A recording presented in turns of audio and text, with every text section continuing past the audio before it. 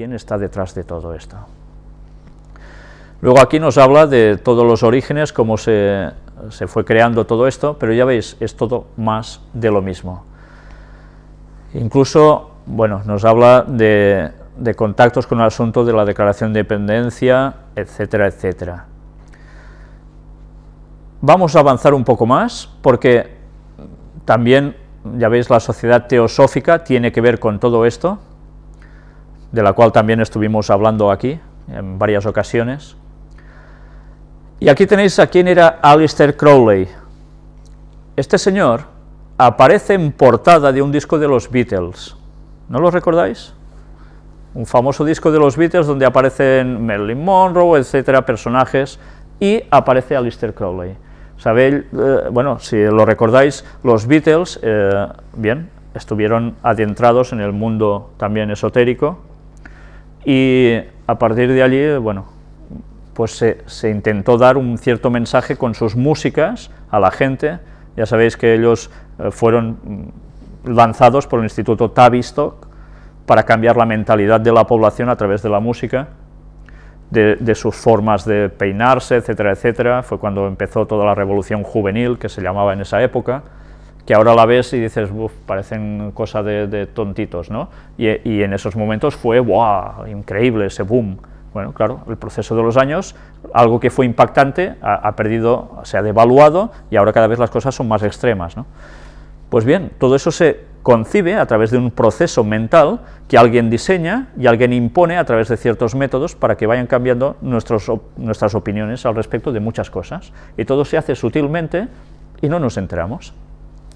Pues aquí tenéis a este señor que fue el líder de la Ordo Templi Orientis, la OTO, que fue bueno, una de las órdenes, eh, por decirlo, esotéricas, de las más importantes. Aquí tenéis eh, toda su historia, ya es, como estuvimos hablando sobre él en las antiguas conferencias, no hace falta entrar en detalles, si queréis lo podéis leer eh, con detenimiento en vuestras casas. Evidentemente, siempre referencias a magia, cábala, esoterismo, yoga, cómo no, por supuesto, todo es más de lo mismo. Y bueno, escribió sobre muchas otras cosas, pero siempre vinculados a más de lo mismo. Eh, además tuvo contactos con personas de primera índole, de primera orden, a nivel también de cuestión política, pero también eh, recordemos, mirad lo que nos dice aquí, entre los que estudiaron a lo largo de su vida y lo estudian también tras su muerte, hay varias sociedades que siguen sus enseñanzas. Podemos encontrar a gente como el pintor Austin Osman Spar, que luego crearía a su vez el movimiento Zoskia Cultus, el director de cine y escritor hollywoodiense Kenneth Anger, Jimmy Page, guitarrista de Led Zeppelin, el escritor Paulo Coelho, ¿os suena? Tan seguido, ¿eh? Y el cantautor brasileño Raúl Seixas grabaron músicas como A Ley, La Ley, sociedad alternativa con ideales telemetistas, así como los Beatles. Pues claro, mirad, su vida y obra también influyeron a personajes como Anton Zandor Lavey, ¿sabéis quién es, no?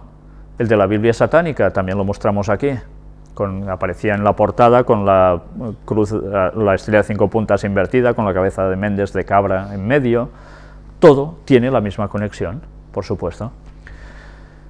Aquí nos sigue hablando de, más sobre él, pero bien, en definitiva, todo esto nos lleva a que detrás siempre está lo mismo.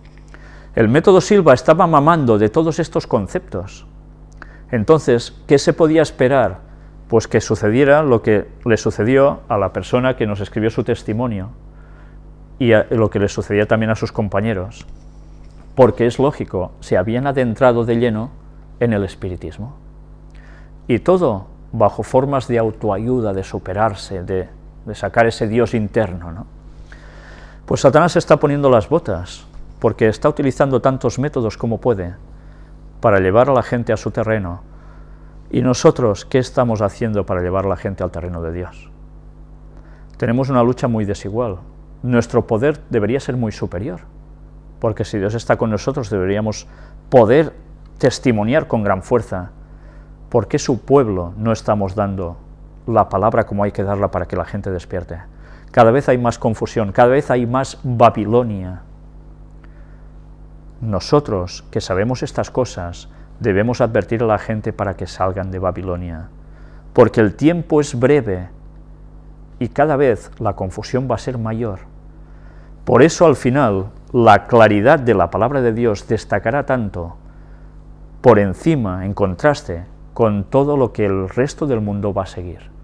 Porque finalmente habrá una clara distinción entre el profeso pueblo de Dios, el auténtico, y el que dice ser pueblo de Dios, o los demás. Pero para eso nosotros debemos hacer la voluntad de Dios, debemos buscarlo de tu corazón, porque si no, también vamos a caer entrampados por Satanás en un modo u otro. Ya veis que su red es inmensa, toca todas las teclas que puede, y por un lado o por otro, esas puertas se las podemos abrir.